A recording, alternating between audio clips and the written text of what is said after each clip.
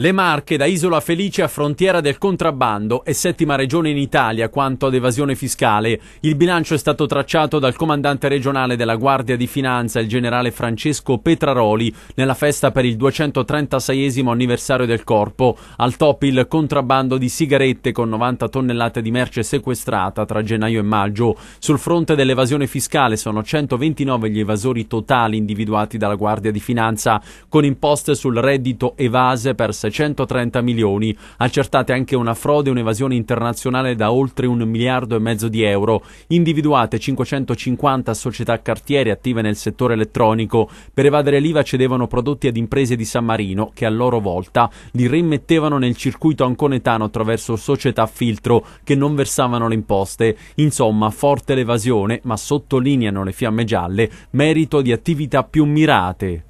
I numeri sono quelli, sono inconfutabili, però non voglio dire che le Marche sono un popolo, eh, i marchigiani sia un popolo di, di evasori, questo no. Mm, riprendendo quello che ho detto prima, forse eh, siamo stati bravi noi ad individuare due eh, settori particolari, perché? Perché adesso stiamo ponendo a base dei nostri controlli una, una di intelligence, cioè noi prepariamo prima, non andiamo eh, in giro colpendo e controllando eh, così senza eh, una ragion veduta.